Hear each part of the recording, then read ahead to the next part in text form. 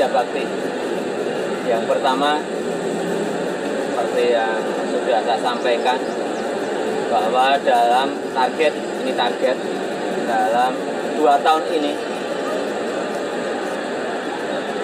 kita berharap Solo nantinya benar-benar sudah hijau.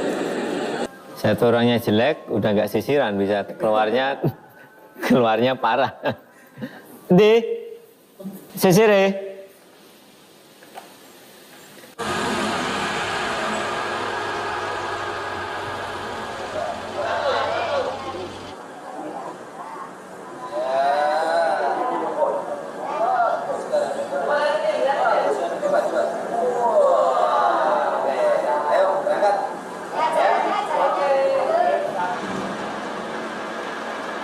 Namanya Nama saya Nela Rumpaidus. Bu Nela Rumpadus. Sekarang langsung Pancasila satu.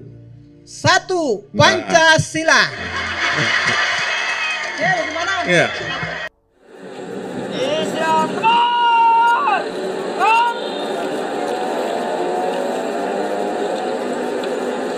kita akan mengadakan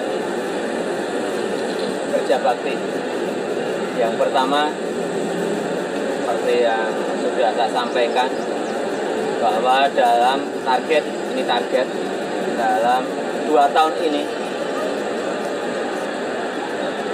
kita berharap Solo nantinya benar-benar sudah hijau. Ini supaya menjadi panutan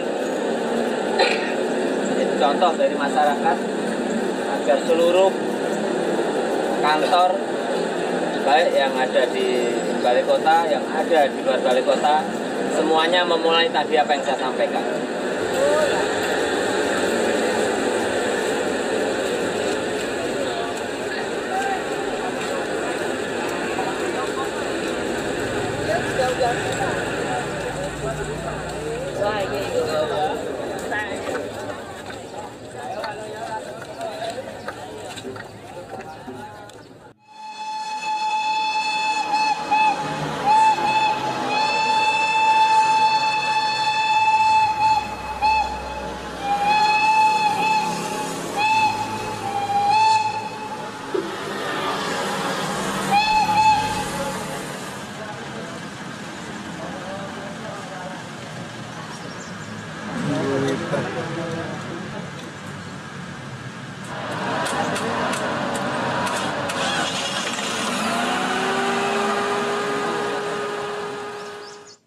Tram pertama di Indonesia itu ada di Solo. Sejak tiga tahun yang lalu mempersiapkan membuat apa plan ke depan. Sebetulnya transportasi massa manajemen transportasi massa di kota Solo seperti apa? Bisa berupa tram bisa berupa rel bus karena relnya sudah ada. Kalau rel bus itu langsung dengan apa bahan bakar eh, gas atau bahan bakar solar udah tanpa tiang dan tanpa listrik Bentar, saya sisir sebentar, Pak. Ini, anu, Pak. Satu orangnya jelek, udah nggak sisiran, bisa keluarnya keluarnya parah. Di, sisir ya.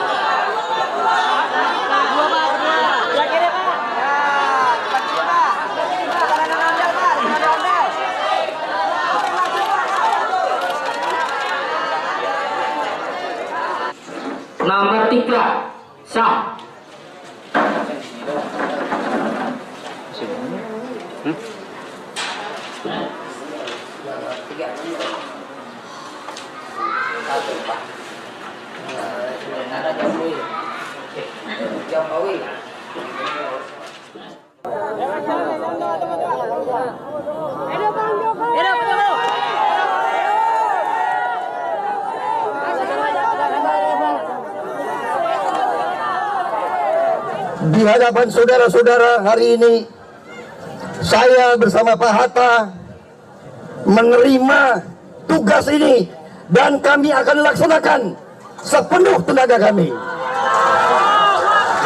kami berdua akan membawa gerakan perubahan di negara yang kita cintai ini.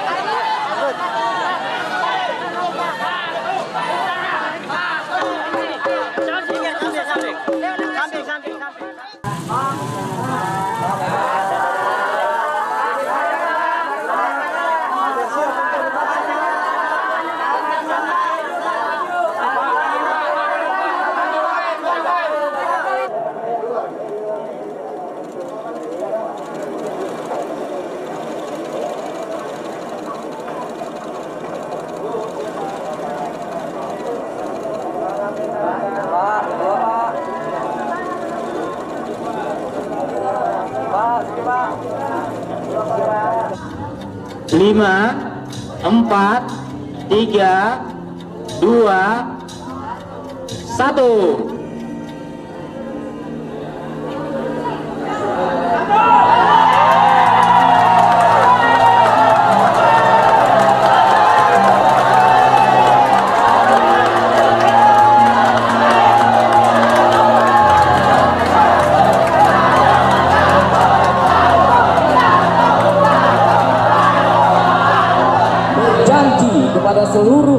Rakyat Indonesia Berjanji kepada seluruh rakyat Indonesia. dan menyatakan siap menciptakan pemilu berintegritas dan damai. Dan menyatakan siap menciptakan pemilu berintegritas dan damai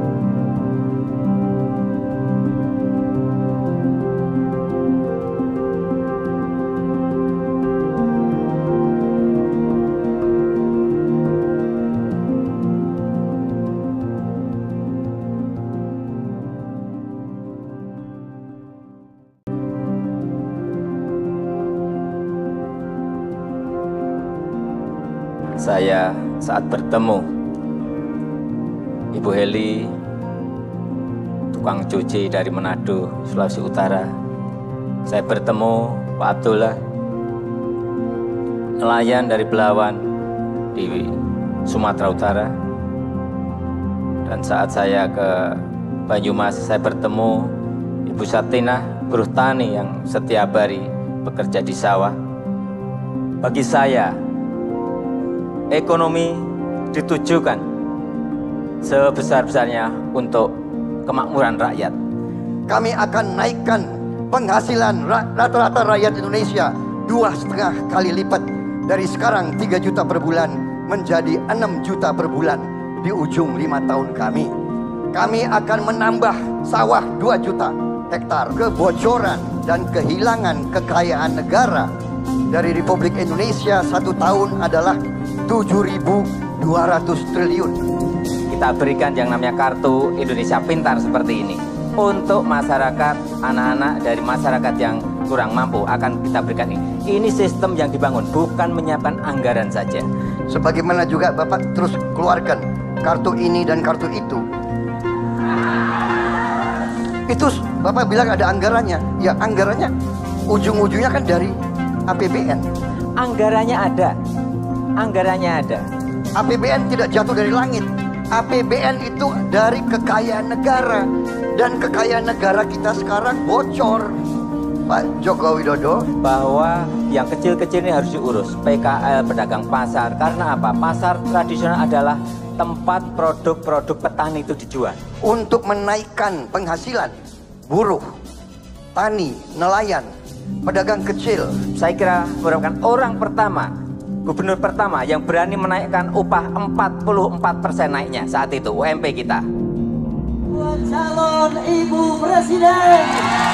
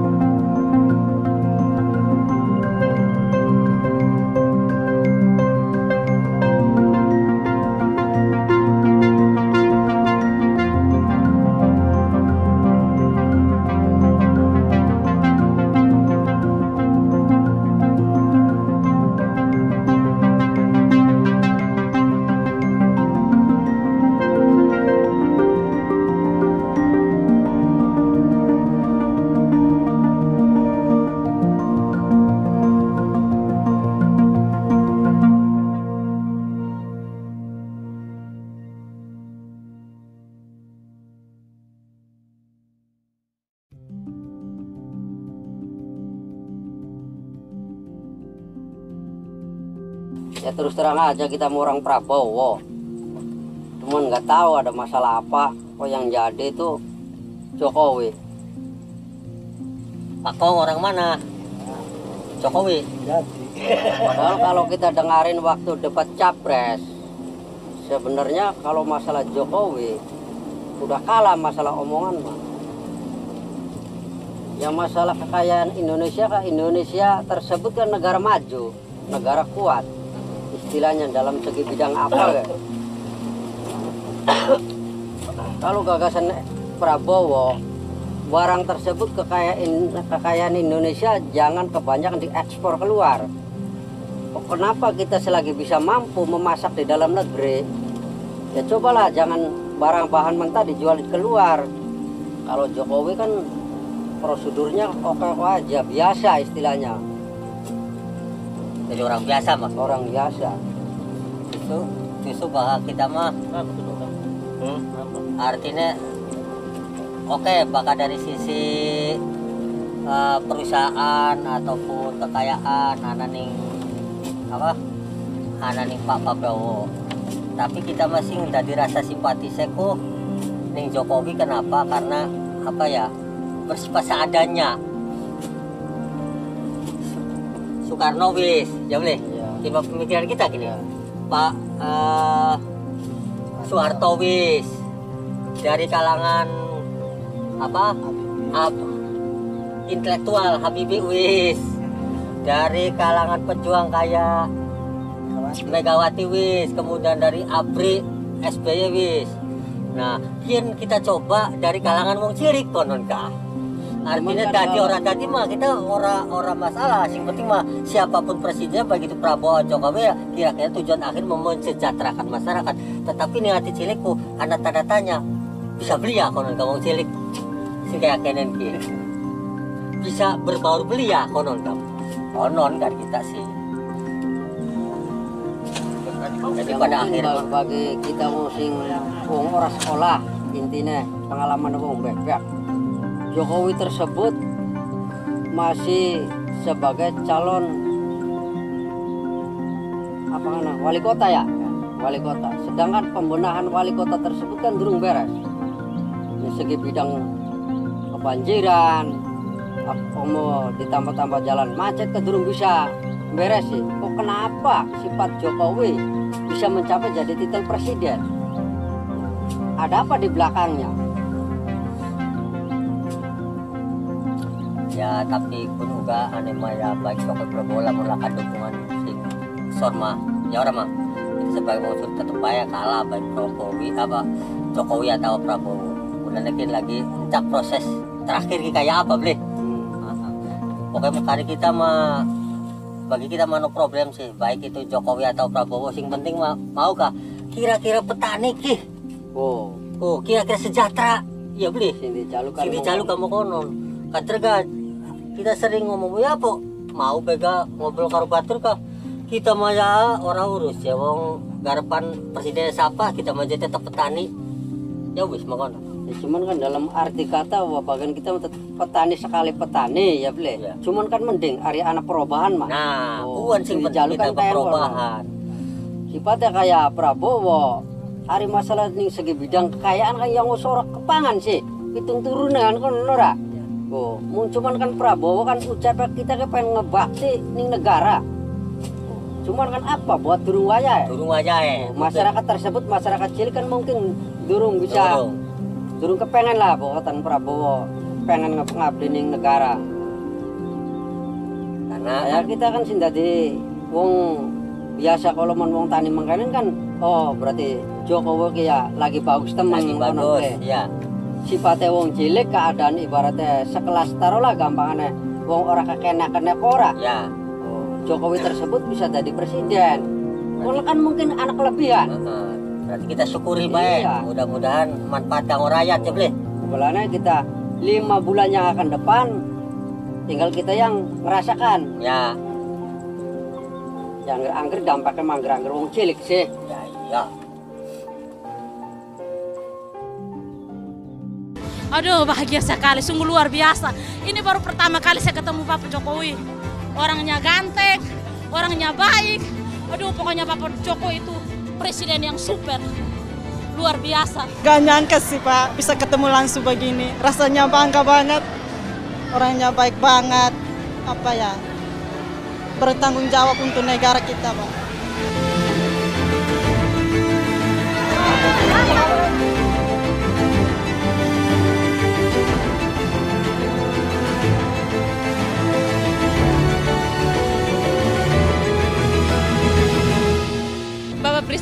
Kami anak NTT sangat mencintaimu. Itu kata-kata dari kami dan kami menempelkan pada gelas. Kan dulu nama. Namanya Nama saya Nela Rumpaidus. Bu Nela Rumpadus. Sekarang langsung Pancasila satu. Satu, Pancasila. Ya, gini. Pancasila satu. Ketuhanan. Eh, eh, Coba. Pancasila Ya. satu, ketuhanan yang Maha Esa. Ya, dua. Dua, kemanusiaan yang adil dan beradab. Betul. Tiga. Tiga, Persatuan. persatuan Indonesia. Empat. Kerakyatan. Kerakyatan yang dipimpin oleh hikmat kebijaksanaan Dalam. dalam persyaratan rakyat. Lima. Lima. Keadilan sosial bagi seluruh rakyat Indonesia. Enggak, kalau pas duduk itu apa? Begitu deket saya hilang semuanya. Hai, terima kasih Bapak. Ya, udah.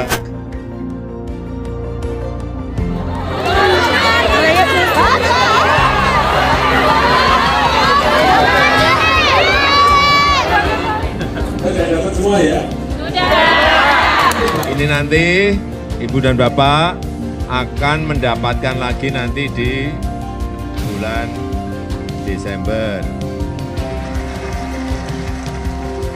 Kemudian dilanjutkan lagi Januari, Februari, Maret. Setuju enggak? Yang enggak setuju tunjuk jari. Mama senang karena Mama dapat sepeda dari Bapak Jokowi. Mama berterima kasih, Mama bangga, Mama senang karena hari ini Mama bisa ketemu dengan Bapak Jokowi. Eh, beliau sangat merendah bagi masyarakat. Saya barangkali mewakili banyak masyarakat yang terharu dan senang begitu ketemu beliau hari ini. sangat ramah sekali. Beliau sangat senyumannya sangat murah bagi semua orang.